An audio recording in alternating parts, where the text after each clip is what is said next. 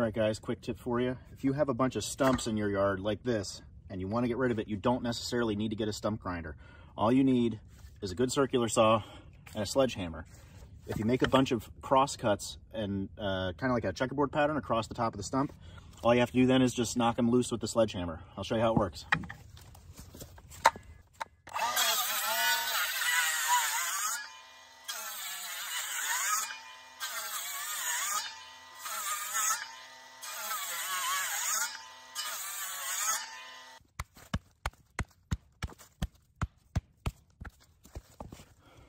There you go.